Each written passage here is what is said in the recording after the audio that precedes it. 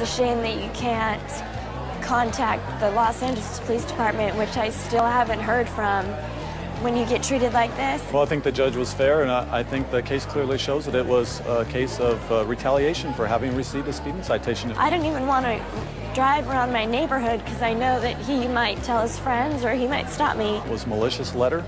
Uh, attack on my uh, personal character and the officer and performance of his duties. I don't feel that uh, this in any way, this letter will affect the officer's uh, assignment, nor will it hinder him for promotion in later life. If they're going to make a complaint against an officer, make sure that it's uh, forthright and uh, truthful.